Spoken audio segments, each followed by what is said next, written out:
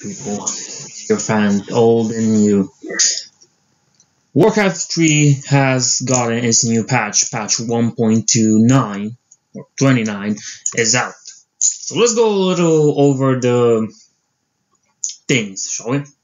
Now, for general, I'm reading all this from the Hive Workshop. There's going to be a link in the description if you want to read it yourself. Now, for general, we have widescreen support, which means true 16 by 9 widescreen. No longer does the screen need to be stretched so it can fit the proper resolution, which means that Warcraft 3 Arena won't really have that much of a use. 24 players. Of course, maps are created and played online up to 24 players. We all know how that sounded and we all know where that's going. But let's talk about colors because there's 12 new colors put into the game. We have maroon, navy, turquoise, violet, wheat, apparently, mint, sorry, green, peach, lavender, coal, snow, emerald, and peanut. I kid you not, peanut. We have a peanut color. To the faction slash player color palette.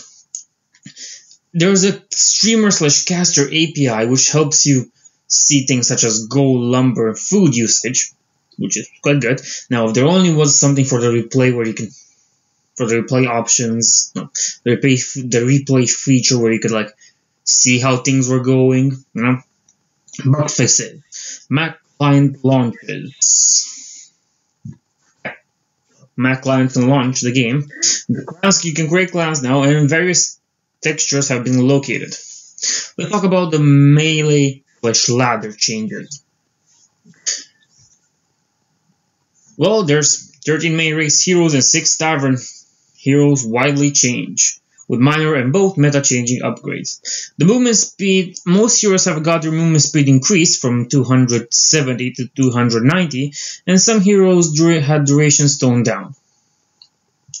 So this will make the game a little bit faster.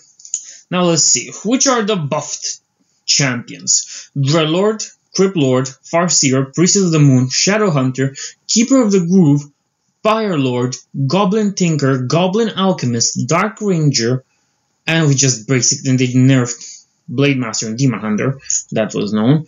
They adjusted Mountain King, Warden, and Paladin, which I think is quite awesome.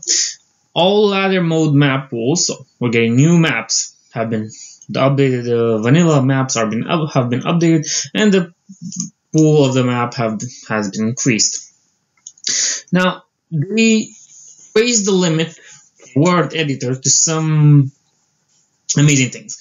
For example, object the object input the limit is to 30,000. Neutral units 2,000. Neutral buildings 300.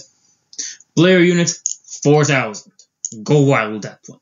Player buildings 24. I mean 2,000. Items 1,000. Map limit increased to 48 by 48. Title slot limit increased to 16.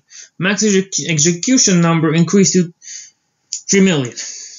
Max food limit increased to 999. Max resource limit increased to 9 million, 10 million, whatever. Array, array size increased from 8,000 to 32,000. And some things that I don't really, that I can't really speak about because I don't know they're mostly triggers. But there's gonna be the link below if you want to watch the triggers, things I can't talk about. So make full battle map, all the units you can, with all the food, all the resources you can. We're gonna be waiting for that.